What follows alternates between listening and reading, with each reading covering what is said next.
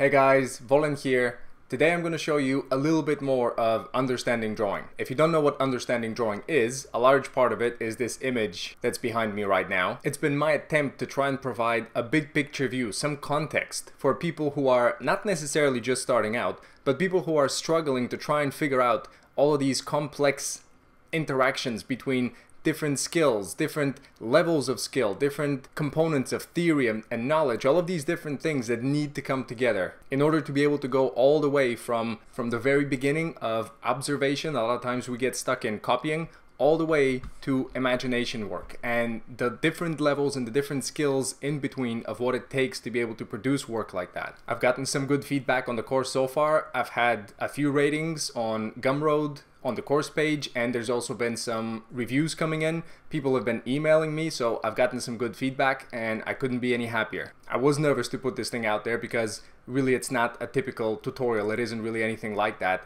It's something different and I really wanted to see how people would respond. So I'll play you a video now of what's included in the course. So these are some of the things that I'll walk you through in this course. I'll take you through what I call our roadmap of understanding drawing. This is my attempt to try and provide context for drawing, to try and break it down into these various levels and different skills that make up each and every level. Then we also have traps. These are things that we very often get wrong as beginners. We pretty much share a lot of the same path, really. So a lot of the mistakes that one of us makes, we don't need to always be doing the same thing over and over, although there's just no way to avoid these things sometimes, but hopefully you'll get to spend less time in those traps than I did. I lived in traps for a very long time. And then we also have maps. This is essentially like a reminder for some of the things that we'll be talking about today. I'm envisioning this roadmap as something that you refer to from time to time, check in about what it is that you're doing, how things are going, and it's like a checklist trying to remind yourself of these things that even though you know you shouldn't be doing, maybe you started doing, or things that you should be doing, maybe you forgot. So this is how I'm seeing this. So we'll look at all of these levels individually we're going to go into each and every one and investigate what are the skills that are responsible for it, what are the prerequisites, in the bigger picture of drawing, what exactly does it serve? And if you want to move from there, if you want to be going towards this imagination stage at the very end, what are the further things that you need to be building? And it's also absolutely fine if that is not your goal. If you just want to be an observation, for instance, that is in no way lesser and it will then serve you to spend let's say 90% of your time over here and then only invest in the other skills just as much as would serve you because you would still benefit from having a bigger picture view so that you know that you're not missing out or if there's another skill that you could possibly use that would improve your art then it's important to know that it's there the way that I wanted to organize the levels is so they lead from observation to imagination. I also wanted to structure them in such a way so that everything that is learned with the earlier levels will be used in every level after that. A lot of times as beginners, we'll learn things out of sequence. We'll see something or hear something from somewhere, and because we're not good at that thing, we'll start training that, not realizing its true importance in the bigger scheme of things, in the bigger picture of drawing, of art. So I've tried to make things as much as possible fit together so that you're able to use immediately what it is that you learn and keep building on top of that with all the further levels. Each level is also associated with skills that we've separated into mechanical and perceptual, and you will need to be training these in order to be able to unlock the next level. I do have to make it clear here that the training is largely up to you. In this series, we covered the context, we go through all of these various components that we're going to get to in a second, and I've tried to outline as much as possible the things that I've done at various stages and what it is that you need to work on in order to progress. I do believe with all the information provided, you'll be able to easily structure what it is that you need to do as we go through many, many different examples, and also what I've had to do at the same levels in order to progress. We'll also spend some time talking about skill building. It's essential to understand that really almost everything that we do on a regular basis in a way gets converted to a skill, which is why it's incredibly important to not only read theory, but to practice it the same way that you would practice skills in order to convert that theory into a skill so that you don't have to think about it, but you're able to just execute it. I'll also supply you with quite a few books on that subject in your resources file. We're going to have a look at a variety of drawings from more contemporary, more current illustrators and artists, and we're going to look back to the masters as well, and we're going to try and pull a thread through everything. Drawing is, by definition, a part of image making. So a lot of these things that we'll be talking about, they'll apply not only to drawing, but image making in general, which means that they will translate into painting as well. We'll also talk about visual language. We'll try and understand why and how images work in the first place. What medium you choose to work in is completely up to you. These same things apply just as much to traditional as they do to digital mediums. Drawing is drawing. It's about the thinking, not about what tool you're using to create marks with. It's not about tricks, it's not about secrets or anything like that. It's purely about thinking, about principles, problem solving, these are the things that are truly important. I think it's easy enough to think about an image like this and think about why it works as an illusion, why we can look at it and understand what it is that it's showing us because it's realistic. It's how we see the world. It's what we see when we look around. But something like this, I think, is trickier to get. There's no shading here. There's no form the way that we see it. So how come this works as well? How come an image with no lines whatsoever and an image almost entirely made up of different lines and shapes, how come these work? Because we think of both of those types as drawing drawing, but they're also so different. And then finally, how come images like these work, where there seems to be no apparent logic to where the lines go, and they just seem to be crossing all over the entire image, does that just mean that if we want to make interesting images like these, should we just scribble around? Is it just random? How does this happen? Why does this work? So we're going to try and deconstruct what's the underlying thread between these. We're also going to look at when things go wrong. We're going to talk about what type of illusion that line creates and when we're breaking that illusion. We're also going to look at how some of our initial ideas about drawing might not be serving us. For instance, trying to always get the outline of something as a way to draw it isn't a very effective illusion because we're essentially copying the effect of something. We're not understanding the structure. We're not understanding how it was originated in the first place, which then prevents us from being able to draw our own things. We're only then constrained into copying, into only being able to translate what's already in front of us, but we can't originate anything. So we're going to have a look at what happens when we're obsessed with outline and when we outline everything, how we break the illusion and how we can make more sophisticated illusions. We're going to talk about how drawing is a compound skill made up of many different sub-skills, but it can also get tangled with light, which I would really like to separate it from because it would allow us to train this structural thinking that then enables painting to be easier, enables lighting to be easier.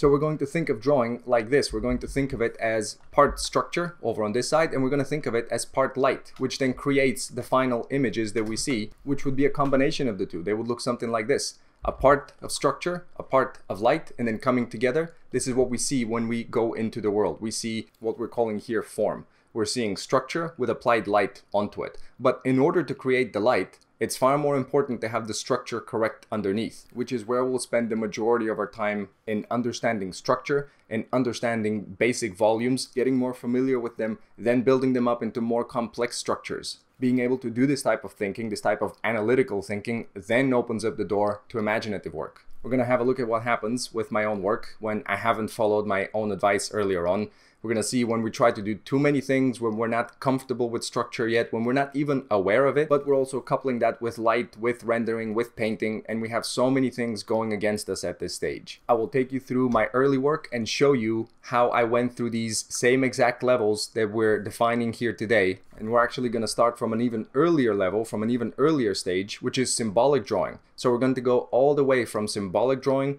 to imagination work, and I will take you through all the various levels in between observation, understanding, feeling form, knowledge, design, subject, imagination. We're also going to spend a lot of time talking about cause and effect, why certain illusions are more potent than other illusions, why an image, for instance, translated into one type of drawing isn't as effective as another type of drawing. We're going to talk about where these lines and shapes come from, what they stand for, and then understanding the purpose, the reason behind them. We're going to talk about how these aren't just two-dimensional silhouetted shapes, they're actually a cause and effect relationships. These are created by form receiving light and blocking light in certain ways. And we're going to talk about and have a look at how 3D software sees the world and why it's possible for it to rotate objects, to shade them in various different angles. We're going to talk about this same type of thinking, this understanding, this structure. And this type of thinking applies to any type of style. It doesn't matter how realistic or how stylized and cartoony it may be,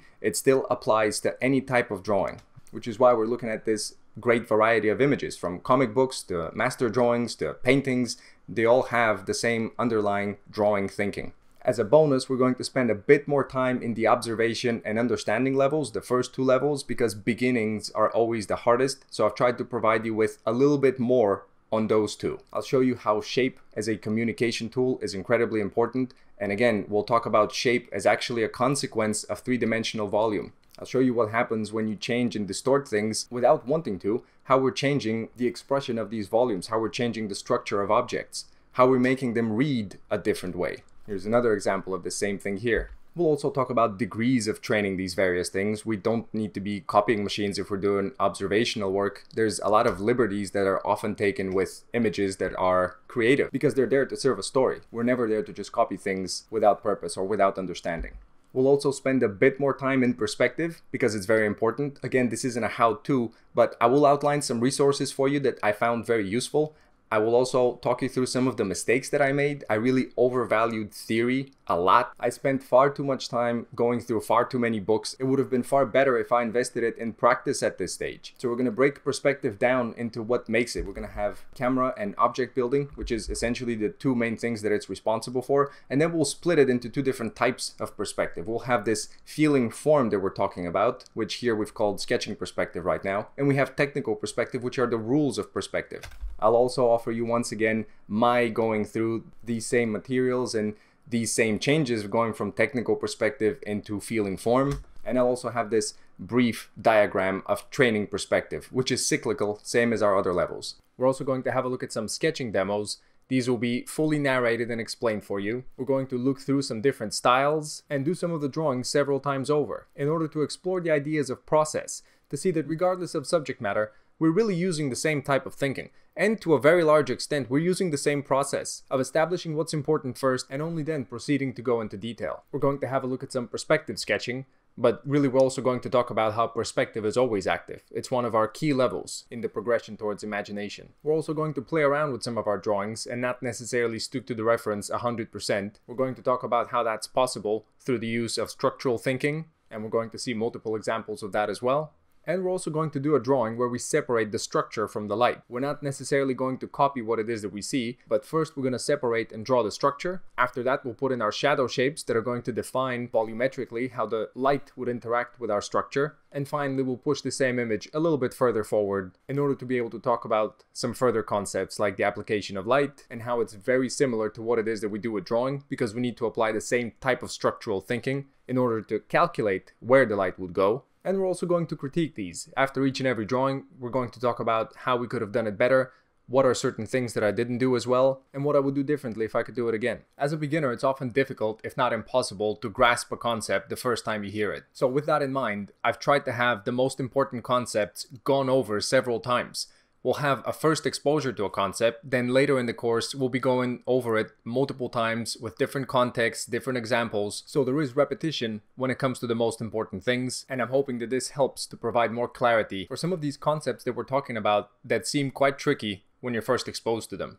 Feel free, if you're the same way that I am, to just go over the videos double speed or triple speed and slow down for the portions that are more important for you. Throughout our time together, You'll hear me refer to the teaching of Steve Huston, Glenn Vilppu, and Bill Perkins. I mention their names very often. There's a reason for that. They've been absolutely instrumental in my own understanding of drawing and my own improvement. I spent an entire year with them and I use everything I've learned from them on a daily basis and I still have a lot to go through and to train. So I highly recommend if you're looking to develop your skills further to give them a try. You can use my code at checkout to get a discount. It's 15% off your entire subscription. So each and every month it's 15% off. There's a free trial before you get started, so there's nothing to lose. I hope you find these helpful. I hope this is something that serves you in the years to come as you are progressively improving more and more of your skill set but also sometimes backtracking and tightening up things that you may have missed the first time around. I hope that my mistakes serve to make your path a little bit easier. And I would also like to thank you here for your support. Your supporting this video, this series,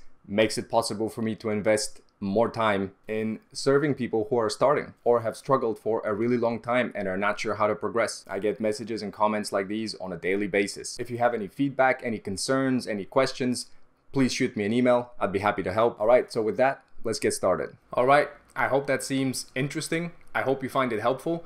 Also, finally, I managed to, I know you guys have been asking about this image, this what I call our roadmap. So I finally uploaded this. It also comes with another image. It's free for you guys, so you can just download it. But if you want to, you can also support my work through that. This thing really took me quite a while to record so a few hundred hours i put into this thing editing it trying to figure out all the different things that could be interpret it in multiple ways and try to annotate everything and put little footnotes and things like that of when I'm explaining something, if it could also be understood in a different way, or if there's multiple applications for something, I tried to think through a lot of these things that I would have found helpful when I was starting out. So now that the few hundred hours of this thing is over, I'm restarting my practice, getting back into it, doing a lot of painting, working on the things that I'm not very good at that I need to work on. So I'll be making a lot of paintings and I'll be trying to pretty much do finished projects primarily. So you can see some practice on Instagram. I post right now I'm doing daily stories on studies that I'm doing. So if you'd like to see some of that, you can just follow me on Instagram. I also need to get to